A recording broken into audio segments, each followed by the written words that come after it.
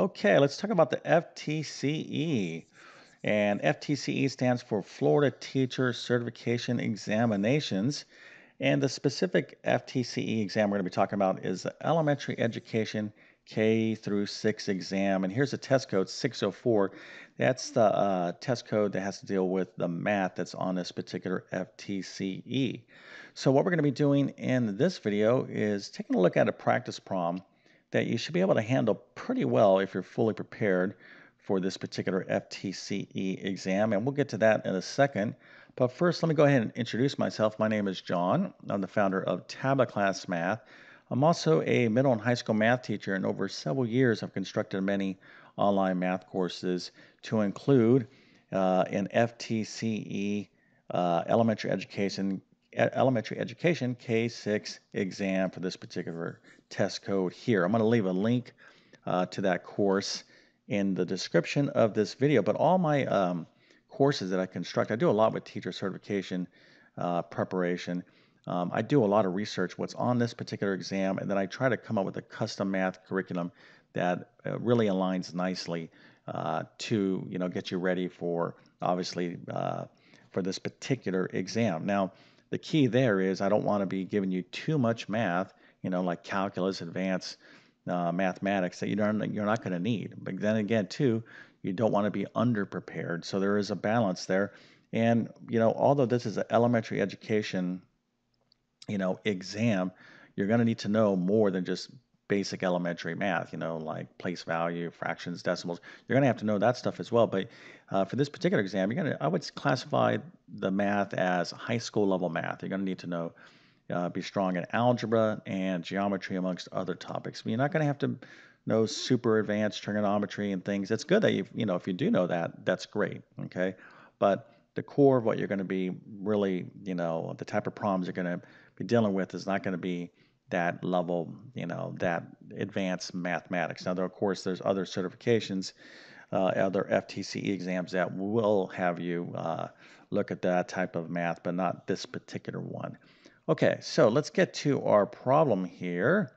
So the way I like to do these little problems, these little in these videos, I do a lot of teacher uh, uh prep videos. Is one explain what the problem is, then I'm going to give a hint here in a second. So if you don't want to hear the hint, you know, just pause the video and then of course I'm going to solve the problem. So let's take a look at the problem. I have some equation here, 2x plus 5y equals 8, and I'd like you to solve for y. Another way to um, state this problem is to rewrite this equation in terms of y, okay? All right, so with that being said, that's uh, descriptive enough for those of you out there be like okay i know what i'm doing it's it's pretty self-explanatory right i want you to rewrite this in terms of y which is the same thing as solving for y okay so uh, for those of you that need um, a hint here it comes if you don't want to hear the hint um, you know pause the video all right so what's going on here well this is uh, let's take a look at a basic problem if i said we had 2x plus 1 is equal to 8. How would I solve that problem? Okay, how would I solve this equation? Well, hopefully you would be like, okay, I'm going to subtract 1 from both sides of the equation. So I have 2x is equal to uh, 8 minus 1 is 7. And then I'm going to divide both sides of the equation by 2.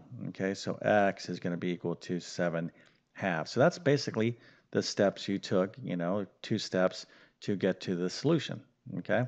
So if I'm asking you to solve for y, all right, what that means is I want you to rewrite this equation in terms of y. In other words, I want the final answer to be y equals whatever. You know, this is going to be our solution. Okay, so that's what it means. Uh, that's what this problem is asking you to do. So the way you need to do this, and this is very, very important to be able to rewrite um, uh, equations or formulas in terms of a particular variable. It's a it's an absolute skill that you must have. So this is not some trivial type of problem like you know busy work. It's an algebraic you know skill set that you get you you definitely have to be able to uh, uh, to be able to do in order to you know do a lot of basic high school level uh, mathematics. So so in this particular problem, and I don't I can't turn this into a full lesson on this, but I'm going to try to give you enough of a hint So I'll, basically, I want to solve for y. Okay, so I want to rewrite this thing so I have y equals, and then of course my answer is going to be on the right hand side. So the question is, what what do we do with x? Okay, because this is a variable too. Well, what I want you to do with x, just treat it as a number. Okay, treat this as a number. So plug in a place value in there. Okay, so this is 2 times x. So let's say uh, let x is equal to 4. Any value, just conceptually think of this as a number for the time being. Okay, treat this as a value. Okay, and then take whatever steps you would take in order to solve for y. All right, so now let's get to the actual solution. So 2 times x, let's say that was 4, so this would be 8, for example. 8 plus 5y is equal to 8. Now, again, this is 2x, but just real quick, conceptually, I'm just going to think of this as a, as a value, an 8. I'm going to forget that there's a variable here, and I'm going to kind of track the steps I'm going to take in order to solve for this y. Okay, so what would I do? I would subtract 8 from both sides of the equation. Eh, you know what? Let me change this here. Okay, I know I said, let's make this 3 because I don't want that to be a 0. All right, so this is 6. It doesn't make a difference, okay? So I'm going to subtract 6 from both sides of the equation. Okay, so instead of 8, I don't want 8 minus 8 is equal to 0. I want to have a value there. So now I have 5y is equal to 8 minus 6. Now 8 minus 6 is, is of course 2, but let's write it this way. 8 minus 6. We know that's going to be equal to 2. But again, I'm focused on solving for y. So now I would divide both sides of the equation by 5. So my final answer is going to be y equals 8 minus 6 over 5. Okay, a minus 6 of course is 2 or 2 fifths. Okay, so knowing these steps or seeing, you know, the mechanics of what's going on is going to, you know, help us out to be able to handle this problem and be able to solve for y. Okay, so take a good look at what I've done here. I'm going to do the same thing, but this time, okay, I'm going to just leave this as 2x, okay? Leave this as 2x because I'm just thinking that thinking of this as a value, as a number. All right, so now I'm going to just subtract 2x from both sides of the equation. I'm doing the same steps that I just you know uh, got done doing, but now I'm, I'm handling this 2x like I'm just thinking of it as a value, so I'm not letting the x confuse me. So now I have 5y is equal to 8 minus 2x. And I'm going to put that uh, grouping symbols. So to solve for y, all I have to do is divide both sides of the equation by 5. So y is equal to 8 minus 2x over 5. Okay, so that is the answer. And you can put this in grouping symbols if you like. Now, if you got the answer, but you weren't quite sure why you got the answer, or you're like, mm, you weren't as confident in your steps, still, that's very good. Just the fact that you were able to, you know, solve the problem was excellent. But you still want to have a command of, uh, you know, knowing, you know, what you were doing. Okay, I mean, obviously, think about it. Would you want your students to be able to do answer a question but not really understand the steps to get to the answer, right? uh, no, right? You just don't want them to be like, here is the answer. I don't understand how I got it, but here is the answer. Uh, no, right? You would almost rather have them understand the steps and get the wrong answer, but and correct something here. The, the idea here is to understand, comprehend the mechanics of it, so you can take those um, those steps and apply them to more difficult problems.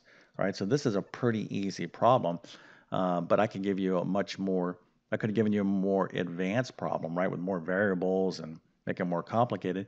But uh, uh, a problem like this is something that you're definitely going to be able to have to do, especially when we're dealing with graphing lines or writing the equations of lines, etc. Anyways, I don't want to go off on too many tangents, but this is, you know, writing equations in terms of uh, one variable is very, very important. Very, very important now uh, in algebra.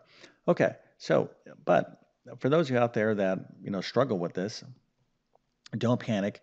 Uh, you know, just use this as feedback. A lot of students actually in algebra, you know, have trouble solving for particular variables until that light bulb goes on and be like, oh, okay, now I get it. That's why I was kind of, you know, indicating in the beginning you know, you have to kind of the variable you're asked to solve for, that variable, that's the only variable you're going to think of as a variable. Everything else you're going to think of as a number value. And you can use a substitution of some number and do that do that basic problem to kind of see the steps and then you know go from there if you're confused. Okay, that always is a good technique to solve problems in mathematics. But uh, let's go ahead and wrap this up. Again, you know, um, just because this is an elementary education certification doesn't mean that you're going to have to, you're going to be escaping, you know, algebra and geometry. Okay, so if math is your nemesis, you know, make peace with it and just do the right thing and get immersed. Um, and you just don't know what kind of math you're going to, you're, you're, what kind of math problems you're going to see. There's a lot of math topics that you're going to have to be ready for quadratic equations, systems of equations, radical equations, graphing lines, finding the equation of lines, area, surface area. It's a lot. And, and that's on top of place values, decimal, fractions, uh, whatever, you know. But just by virtue of you watching this video, you're obviously taking your, you know, uh, this certification seriously as you need to because this is the key for you to be able to teach at this level. You know, teachers do uh, fail these exams. Um, um, so don't be shy about, hey, this is your second or third time taking it.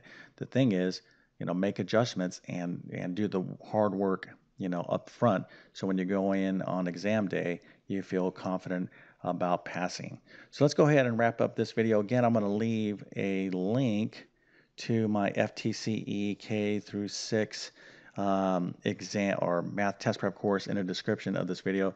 Uh, all my courses have taken me years to build, so I think you'll really uh, could definitely uh, help you out if you don't already have a game plan. If you're new to my YouTube channel, uh, hopefully consider uh, subscribing. I've been on YouTube for oh at least 12 years uh, at the time of this video. I already have hundreds of videos on my channel that can help you out if you like my math teaching style. Um, if you enjoyed this video, definitely appreciate a thumbs up and leave me some feedback. What's your situation? I mean, are you coming from directly out of college into teaching? In other words, you went from high school to college and you're going to be a teacher, and let's say you're maybe 23 years old, 22, 23. That's you know that's pretty awesome. Okay, but maybe you're uh, you know uh, you know a retired military, um, or you're starting another career. Maybe you were uh, law enforcement, or maybe a real estate agent for for 10 years and now you're switching to become a teacher. All kinds of crazy um, paths of uh, becoming a teacher. Not everybody just goes from college to teaching, but that's not to say that those of you that actually went from high school to college to teaching, that's that's you know to be commended as well because you were lucky. You knew what you wanted to do early on. Um, you know, probably some teacher somewhere along the line impressed you or like what you know had a, such an impact on you that you too wanted to become a teacher so that's awesome as well but um, whether you're coming from another career or coming from college and you're going into teaching for the first time you know half of being a teacher is passing these certification exams okay that's one half of it the other half is just developing the experience of dealing with kids parents grading administration all the other things that you really can't learn from a book. Okay. Uh, my suggestion there is to latch on to those veteran teachers, have a lot of experience, and learn from them, uh, and you know learn what you want to learn from them. Okay, uh, until you you know find your own kind of style. You can have two teachers, completely different teaching styles, both great teachers, both effective. Um, so you kind of have to find your own way, but you got to give yourself time to develop that experience. You know, one year of teaching isn't going to be enough. Okay. But um, I will say the more experience you have, the more you're going to enjoy teaching. And it's a great uh, career, but it takes time. Okay. It's just one of those things everybody thinks they know what it is until you actually do it.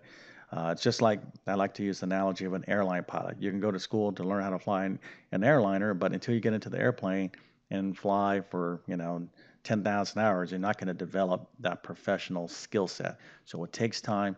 Give yourself some time because you've already done so much work to get to even this point. Okay. You don't want to go into teaching and be disappointed that you're not, you know, like everything's not easy. Okay. it's going to take time. But, anyways, I, uh, I really enjoy. Um, making these videos to help uh, fellow teachers. I definitely wish you all the best on this particular FTCE exam. Thank you for your time and have a great day.